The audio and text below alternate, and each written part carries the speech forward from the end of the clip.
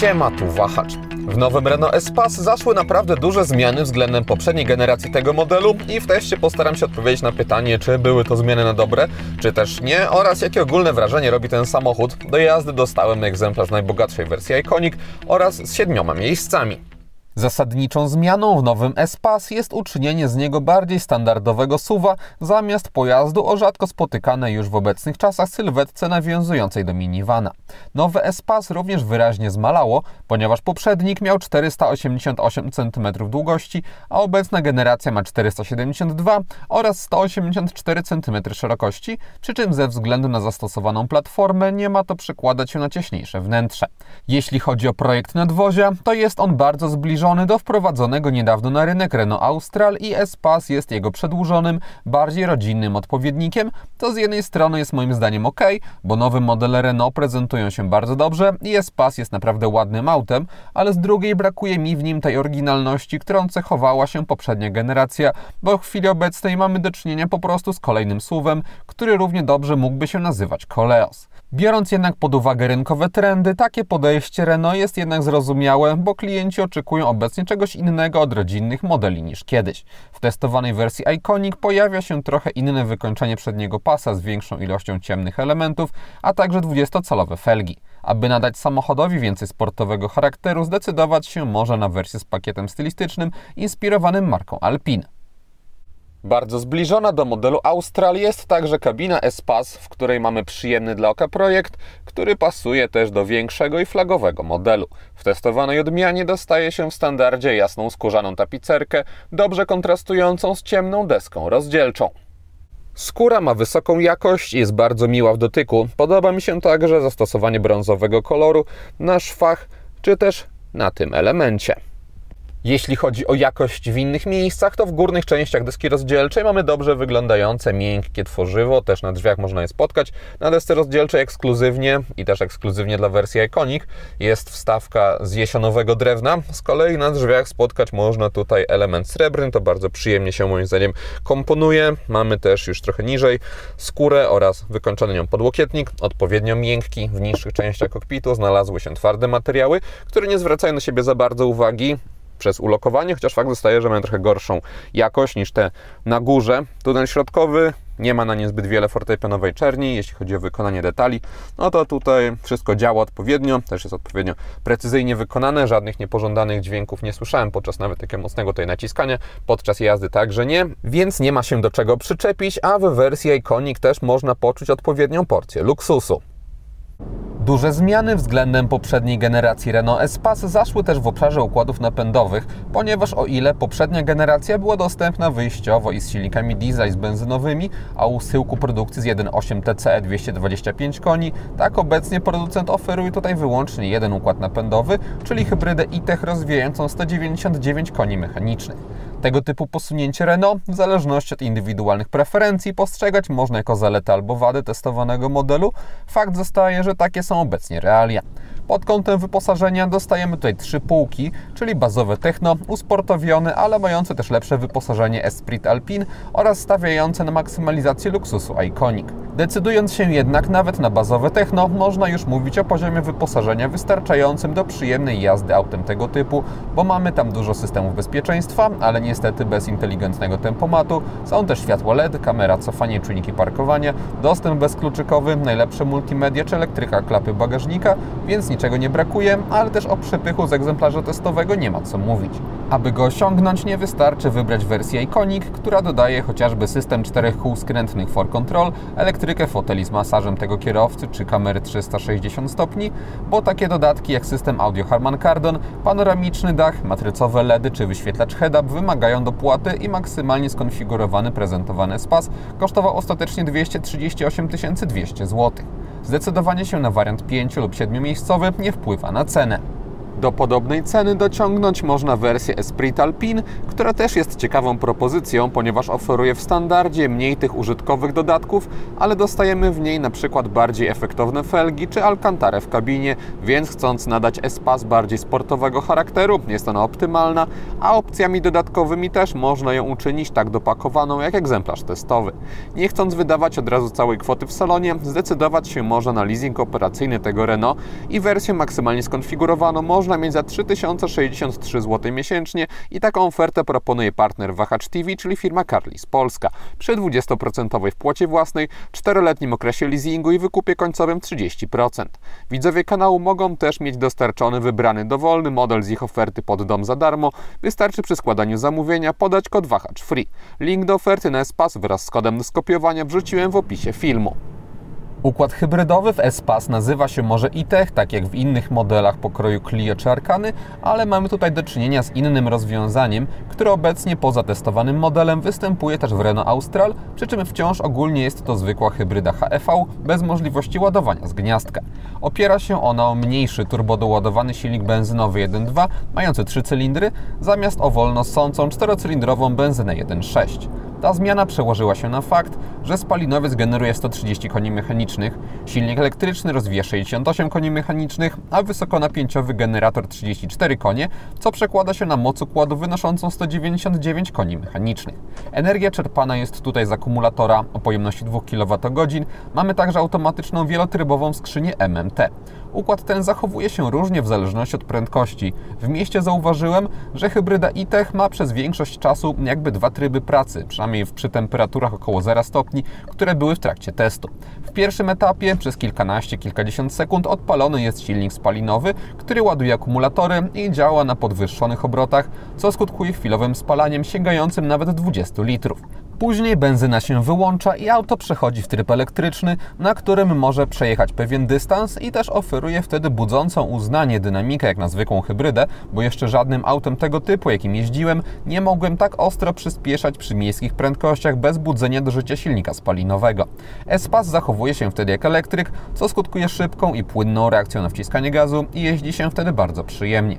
Gdy poziom energii spadnie, odpala się benzyna i tak ten cykl się powtarza. Nie odbywa się zawsze dokładnie tak samo, bo komputer różnie dobiera pracę poszczególnych napędów w zależności od potrzeb, ale te dwa stany najbardziej się według mnie wyróżniają podczas jazdy. Gorzej sytuacja wygląda, gdy pracuje silnik benzynowy, ponieważ aby sprawniej wygenerować energię, trzymany jest on na podwyższonych obrotach, które są wyraźnie słyszalne w kabinie, zwłaszcza po uruchomieniu na mrozie i dźwięk jest wtedy kiepski i co prawda poprawia się trochę, gdy benzyna się zagrzeje, ale wciąż piłowanie jednostki na wyższych obrotach, niepowiązanych nieraz z przyspieszeniem, zwraca uwagę, zatem zdecydowanie się na jednostkę trzycylindrową w układzie hybrydowym, przeznaczonym do większych i droższych aut, to według mnie chybiona decyzja Renault, bo większy silnik czterocylindrowy zapewne miałby lepszą kulturę pracy. Wciąż jednak takie rozwiązanie broni się pod kątem zużycia paliwa, bo średnio Espas w Warszawie potrzebował około 5 litrów na 100 km bez ekodrivingu. Poza miastem już częściej silnik benzynowy musi pracować, też rośnie ogólny szum związany z prędkością i etapy elektrycznej jazdy i ładowania akumulatorów stają się praktycznie niewyczuwalne. Wciąż jednak w takich warunkach docenić można sprawność silnika elektrycznego, bo znowu mogłem całkiem żwawo przyspieszać jedąc z wyłączoną benzyną w przedziale prędkości 70-90 km na godzinę, co w innych hybrydach, które znam nie jest możliwe, bo wtedy tryb elektryczny jest zarezerwowany tylko dla utrzymywania prędkości. Takie zachowanie hybrydy skutkowało w Espas średnim spalaniem na zwykłych drogach poza miastem na poziomie 5,5 litra na setkę. Co ciekawe, nawet na drogach szybkiego ruchu mogłem przyspieszać bez udziału benzyny i to z całkiem dobrym tempem, na przykład od 100 do 120 km na godzinę, więc to mnie w tym układzie napędowym wsadzonym do tak dużego samochodu mocno pozytywnie zaskoczyło. Utrzymując grubsza 120 km na godzinę, średnie spalanie wynosiło 6,5-7 litrów, a przy 140 km na godzinę komputer pokazywał okolice 8 litrów.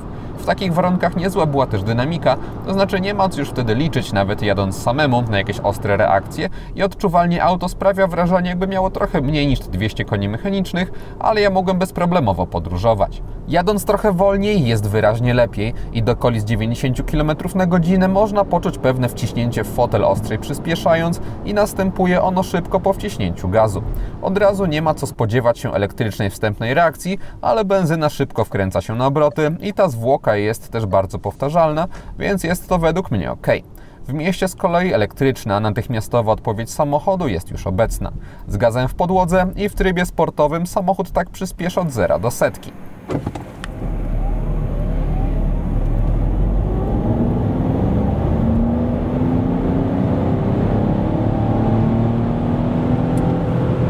oraz tak od 90 do 140 km na godzinę.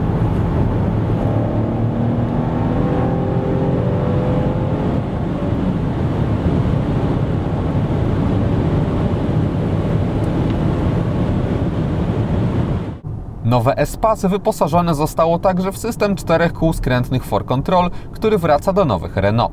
Polega on na tym, że tylna oś skręca się o 5 stopni, do 50 km na godzinę skręt jest w przeciwnym kierunku co koła przednie, a powyżej tej prędkości w tym samym kierunku. Intensywność działania można sobie regulować w menu, ale przy aktywnym for control przy prędkościach pozamiejskich pojawia się efekt jakby tył auta wpadał w lekki poślizg. Nic oczywiście się nie dzieje złego z przyczepnością, ale jest to specyficzne i wymaga trochę przyzwyczajenia i skutkuje w konsekwencji bardzo przyjemnym jakby dokręcaniem auta w zakrętach. Poza tym układ kierowniczy ma niezłą bezpośredniość jak na samochód tego typu, ale zdecydowanie kierownica stawia za mały opór i w trybie komfort, na którym auto zawsze startuje po uruchomieniu silnika, jest on aż nieprzyjemnie mały przez poczucie zbytniej chybotliwości i zupełnie nie pasuje do auta tego typu. Zmieniając ustawienia to wrażenie znika, chociaż wciąż dałbym możliwość jeszcze lekkiego utwardzenia kierownicy. Niestety tryb jazdy z komfortowego zmieniać trzeba po każdym odpaleniu samochodu. Zastrzeżeń nie mam za to do zawieszenia, które jest bardzo dobrze zbalansowane i auto cicho i też skutecznie wybiera różnej wielkości nierówności i patrząc na cienkie opony, aż byłem zaskoczony jak dobrze radzi sobie z tymi mniejszymi. Nie jest tak, że tutaj za miękko, więc stabilność w zakrętach i ogólna pewność prowadzenia stoi na dobrym poziomie, więc w tym obszarze Renault naprawdę się postarało.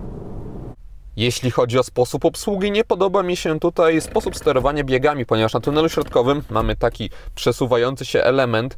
Tutaj jest jeden schowek z uchwytami na kubki, tutaj jest drugi, a na górze jest indukcyjna mata do ładowania telefonów, co samo w sobie z pomysłem ok, ale wymusiło to przeniesienie dźwigni zmiany biegów tutaj z prawej strony i jest ona w sąsiedztwie manetki wycieraczek bardzo bliskim, jeszcze trochę niżej. Mamy joystick do sterowania multimediami i zwłaszcza ta manetka wycieraczek jest problematyczna, ponieważ można się łatwo pomylić i zamiast odpowiedni bieg wrzucić, to wytrzeć szybę albo co gorsza odwrotnie. Mnie się to zdarzyło, więc tych rzeczy po prawej stronie jest zdecydowanie zbyt wiele. Dodatkowo, gdy mamy odpalony tryb P, to takie szybkie naciśnięcie manetki nie zawsze sprawia, że bieg wskakuje, ale gdy już trochę dłużej ją przytrzymamy i później przełączamy się, to wystarczy szybko to zrobić i jest ok. I ta niespójność nie jest moim zdaniem dobra, ponieważ można się przyzwyczaić właśnie do jednego trybu pracy, sposobu obsługi, a później na przykład wchodzimy w tryb parkingowy, chcemy szybko wrzucić bieg wsteczny, no i nie reaguje, chociaż przed chwilą przy takim przełączaniu już reagowała. Do sposobu sterowania przyciskami już bezpośrednio na kierownicy zastrzeżeń nie mam. Z lewej strony obsługuje się aktywny tempomat, z prawej mamy odbiór odrzucanie połączeń, programowalny przycisk oraz te służące do obsługi komputera pokładowego, elektronicznych zegarów. Jest też przycisk do zmiany trybów jazdy, który ze względu na to, co mówiłem niedawno o sposobie pracy układu kierowniczego, przydaje się w tym samochodzie często. Za kierownicą mamy też joystick do sterowania multimediami, warto go pokazać trochę bliżej, ponieważ może jest on archaiczny, jeśli chodzi o taki koncept i formę trochę, ale jest on też bardzo ergonomiczny, zawsze w tym samym miejscu i jego obsługa jest wygodna. Elektroniczne zegary mają 12,3 cala i można modyfikować to, co znajdzie się w prawej tarczy. Są różne informacje związane z działaniem samochodu, układu hybrydowego, ekonomiką jazdy, więc wszystko co najważniejsze jest tutaj obecne. Można także sobie zmieniać ogólne widoki to, co będzie z lewej strony się wyświetlało, nie jest możliwe do modyfikacji. Będzie tam zawsze prędkość, ale można sobie właśnie, tak jak teraz pokazuję, ustawiać różny sposób ekspozycji tych informacji. Jeśli się wyłączy zupełnie to, co będzie z prawej strony, no to może być też na przykład taki widok bardzo minimalistyczny, więc ogólnie pod kątem funkcjonalności jest tutaj ok. 12 cali ma ekran systemu inforozrywki Open Airlink. On podobnie jak zegary cechuje się świetną jakością. Mamy także w tym systemie integracji z usługami Google. Na 5 lat po zakupie się dostaje możliwość korzystania z nich i chociażby mamy mapy, takie jak na smartfonie z aktualnością ruchu, z możliwością wyszukiwania wszystkiego Na ekranie domowym na dole można też sobie umieszczać różne dodatkowe informacje albo w łatwy sposób przełączać się pomiędzy nimi poprzez skróty na górze. Mamy także ustawienia w bardzo wygodny sposób zaprojektowane, ponieważ są duże kafelki w menu głównym, a dalej jest już bardziej tradycyjnie. Ekran nie tylko ma świetną jakość, ale też świetną reakcję na dotyk, więc ogólnie jest to rozwiązanie dzięki integracji z usługami Google naprawdę rewelacyjne, a jeśli dodamy do tego też dobrze działające te wszystkie inne moduły, to można mówić o systemie będącym w ścisłej czołówce rozwiązań, z którymi miałem styczność. Obecność usług Google oznacza też asystenta. OK Google, ustaw temperaturę po stronie kierowcy na 23,5 stopnia. OK, ustawiam temperaturę po stronie kierowcy na 23,5 stopnia. I działa to bezproblemowo, ale miło, że Renault nie postanowiło w związku z tym wyeliminować fizycznego sposobu sterowania klimatyzacją, więc jeśli ktoś nie chce rozmawiać z samochodem, to bezproblemowo może w tradycyjny sposób sobie temperaturę siły nawiewu zmieniać przełącznikami. Pod panelem klimatyzacji znalazło się gniazdo 12V oraz dwa USB w standardzie C. Kolejne dwa USB-C są z tyłu. Przy takiej ilości złącz nie pogniewałbym się za chociaż jedno takie awaryjne USB-A. Pilot obsługujący system dostępu bezkluczykowego to klasyczna dla Renault karta hands-free, bardzo cienka, lekko, w ogóle nie przeszkadzająca w kieszeni, wykonana w większości z chropowatego lekko czarnego plastiku oraz mająca połyskującą ramkę, bardziej podatną na zarysowania.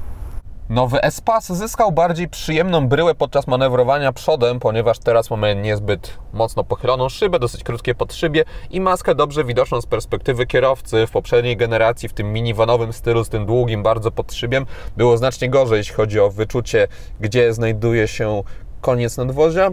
Widoczność na boki jest dobra. Z tyłu po przekątnej mamy dodatkową szybkę. Tylna szyba jest po pierwsze daleko od głowy kierowcy, ale jest ona też przede wszystkim wysoko poprowadzona i niezbyt duża. Masywne zagłówki też ograniczają trochę pole widzenia. Jakość kamer w systemie 360 stopni jest lepsza niż w trochę starszych modelach Renault, np. w Arkanie czy też w Capturze, więc tu jest progres, ale wciąż moim zdaniem nie jest to odpowiedni poziom jak na samochód za ponad 200 tysięcy złotych, flagowy i też zupełnie nowy model. Też nie podoba mi się właściwie przede wszystkim, bo jakość jest akceptowalna wciąż, ale to, że podczas na przykład cofania obraz z tej kamery tylnej nie jest płynny i to zdecydowanie nie powinno mieć miejsca. Jeśli chodzi o widoki, to można sobie odpalić tak taki, albo z przybliżeniem tego, co dzieje się z lewej i z prawej strony. Jest także widok 360 stopni, w którym najbardziej ujawnia się to, że te kamery jednak nie mają zbyt dobrej jakości, zwłaszcza na bokach kadru. Też projekt modelu samochodu ma zatrważająco wręcz niską jakość. For Control daje o sobie znać również podczas jazdy z niższymi prędkościami, ponieważ samochód jest dzięki niemu naprawdę zwrotny i aż wymagało to u mnie zmiany przyzwyczajeń, bo Vespas jeżdżąc w podobnym stylu co innymi większymi suwami, po prostu auto za bardzo mi skręcało podczas wjeżdżania na przykład w miejsca parkingowe. Wciąż jednak wolę się do tego przyzwyczajać, zamiast do aut o dużej średnicy zawracania, więc całościowo For Control to według mnie świetny dodatek, który poprawia wrażenia z jazdy w każdych warunkach dodając do tego lekko pracującą kierownicę, która przy niskich prędkościach akurat ma swoje plusy, to Espas jak na swoje rozmiary oferuje naprawdę solidną przyjazność w mieście. Na dekoracyjne oświetlenie wnętrza Espasa składają się LEDowe listwy na drzwiach oraz na desce rozdzielczej. Mamy już w sposób bardziej rozproszony, podświetlony tunel środkowy. Można modyfikować zarówno intensywnością świecenia, jak i kolorystyką, albo wybrać swoją barwę ulubioną z koła kolorów, albo zdać się na propozycję Renault i wtedy co jakiś czas te kolory będą się zmieniać w zależności od pory dnia. Jeśli chodzi o przyciski przełączniki, to one już niezmiennie są białe, z jednym wyjątkiem w postaci przycisku na kierownicy, który zmienia kolor w zależności od tego, jaki tryb aktualnie jest wybrany jazdy. Też modyfikowane są akcenty kolorystyczne na ekranach wraz z tą zmianą koloru. Ogólnie wygląda to moim zdaniem przyjemnie, to znaczy mamy wszystkie instrumenty pokładowe podświetlone, więc czytelność i funkcjonalność jest ok, a te LEDowe paski całkiem wyraziste dodają charakteru, chociaż żałuję, że zniknął wyróżnik poprzedniego Espasa, to znaczy LEDowe takie paski kolejne, które ciągnęły się od konsoli centralnej do tunelu środkowego, teraz już ich nie ma. Światła Vespas są, podobnie jak nadwozie, zbliżone do tego, co spotkać można w Australu i z przodu oznacza to typowy dla nowych Renault motyw litery C z ciekawymi segmentami na górze, które pełnią też czasami rolę dynamicznych kierunkowskazów. W kierunkach w bocznych lusterkach, tak jak wszędzie z przodu mamy LEDy, z tyłu znaleźć można bogaty w przyjemne dla oka detale projekt świateł pozycyjnych. W tej części nadwozia kierunkowskazy dla spójności też są dynamiczne i ogólnie testowany model po zmroku moim zdaniem wygląda bardzo dobrze i zarówno pod kątem designu, jak i nowoczesności nie można o nim powiedzieć złego słowa. Dynamiczne kierunkowskazy czy bardziej bajeranckie światła z tyłu występują od odmiany Esprit Alpine. Dodatkowo przednie światła, gdy podchodzi się do samochodu, wykonują fajnie wyglądający pokaz. Matrycowe LEDy mają tak pionowo wycinać fragmenty wiązki, aby na środku inni kierowcy nie byli oślepiani, a pobocza przez możliwie długi czas oświetlane były drogowymi. Kształt zewnętrznych krawędzi bocznych stref ma niecodzienną formę, bo nie jest on pionowo zakończony, tylko nawiązuje do litery C, nie wpływa to na walory użytkowe, jest to po prostu ciekawostka.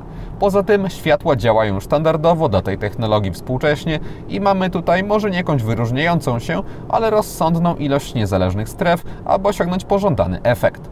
Też komputer rozsądnie interpretuje pojawiające się w oddali inne pojazdy, ponieważ szybko tworzył on świetlny tunel i nie czułem, aby ktoś jedący z naprzeciwka mógł zostać realnie oślepiony. Jeśli dodamy do tego dobrą moc świecenia, to całościowo otrzymuje się dane rozwiązanie, które wyraźnie poprawia wrażenia podczas jazdy po zmroku.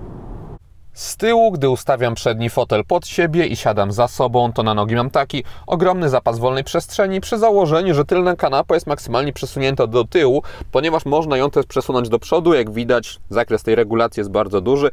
Można przesuwając fotel do przodu zyskać nawet 200 litrów przestrzeni w bagażniku, no ale tutaj już w takim skrajnym położeniu nie mógłbym trzymać nóg, ale w takim umiarkowanym wciąż byłoby rozsądnie. Nad głową nie ma problemów, panoramiczny dach w egzemplarzu testowym kończy się daleko. Nie jest on niestety wyposażony w roletę. On ma też jakieś filtry pochłaniające promienie UV. Nie mogłem tego za bardzo sprawdzić ze względu na zimę i brak jakiegoś ostrego słońca, no ale wciąż mechaniczna roleta zdecydowanie powinna tutaj być. Dobrze, że ten panoramiczny dach w każdej wersji jest wyposażeniem opcjonalnym. Na tylnej kanapie warto też wspomnieć o tych dodatkowych poduszkach, które są demontowalne, ale jeśli są one założone, to dzięki swojej miękkości sprawiają, że kontakt z nimi głową jest naprawdę przyjemny. Tylna kanapa prezentuje się tak, składając środek wraz z zagłówkiem uzyskać można rozkładany podłokietnik. Tylna kanapa oferuje także możliwość regulacji kąta pochylenia oparć. W bagażniku, w zależności od przesunięcia tylnej kanapy, dostaje się od 477 do 677 litrów w wariancie 7-osobowym. Przy 5-osobowym bagażnik ma 100 litrów więcej.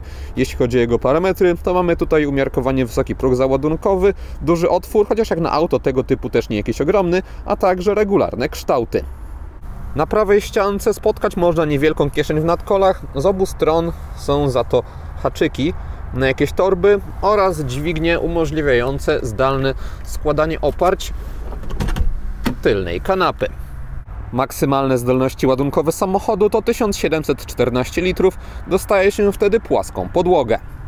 Przy rozłożonych miejscach 6,7 bagażnik S-Pasa robi się już bardziej symboliczny. A jeśli chodzi o ilość miejsca, to nad głową jest ok, ponieważ linia dachu się nie obniża. Ja na przykład gdy usiadłem sobie na tym miejscu, to nie musiałem się garbić. Z kolei jeśli chodzi o nogi, no to przy maksymalnie odsuniętym do tyłu fotelu w drugim rzędzie w ogóle nie miałbym co z nimi zrobić. Gdybym go trochę przysunął do przodu, ten fotel, no to jakieś tam miejsce by było, ale wciąż nie powiem, żeby ta podróż była komfortowa, więc te miejsca są bardziej albo awaryjne, albo przeznaczone dla młodszych pasażerów. Co ciekawe, trzeci rząd siedzeń ma też przeznaczone dla siebie kolejne dwa porty USB-C. Po obu stronach mamy także uchwyty na kubki.